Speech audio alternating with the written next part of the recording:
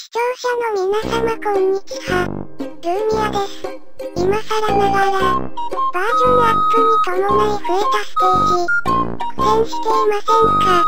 今回は覚えたての愛星4を、私の偏見で組んだ編成で、攻略します。ニャンコンボはアイドル志望。バイオハザード、骨骨ボーンです。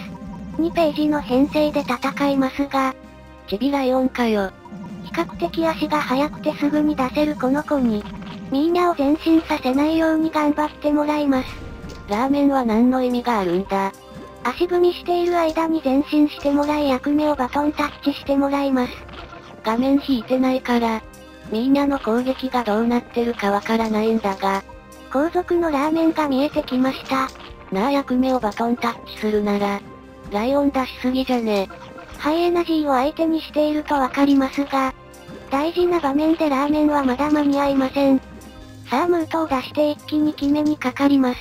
ライオン全滅したな。ラーメンに守ってもらいながらムートで攻撃。星4ステージ攻略の要みたいなものです。ジェンヌは何のために出したんださすがのムートも、鈴木さんの攻撃を受けると悲惨です。一応ムートがやられた時の保険です。なあもうちょっと画面左に寄せれないのか。夢中になるとわからなくなるタイプでして、ラーメンはバズーカーをくぐらせるように出して、ジェンヌも同様にします。ラーメンとライオンではハイエナジーに攻撃できません。そうなのか。こちらが近づく前に吹き飛ばしてしまうんです。そこで射程外からの攻撃。ハイエナジーを撃破です。この後はラーメン像が思いっきり活躍してくれます。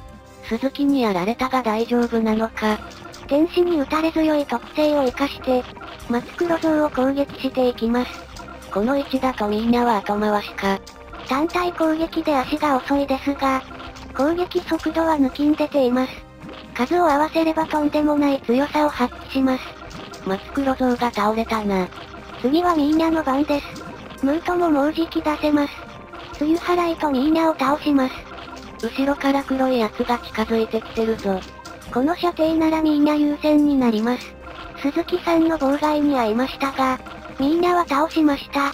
ラーメンを前線に送り込んで攻略を進めます。ツバメンズはどうするんだラーメンに壁になってもらいジェンヌで攻撃です。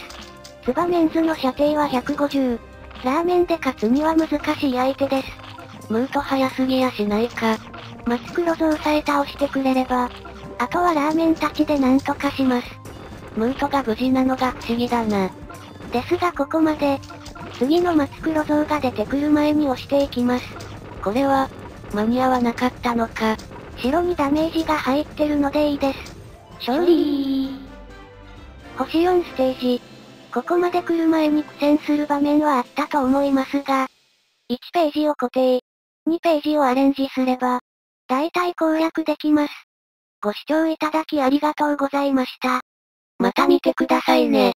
カオルくん周回できない今。猫缶30個は少なすぎ。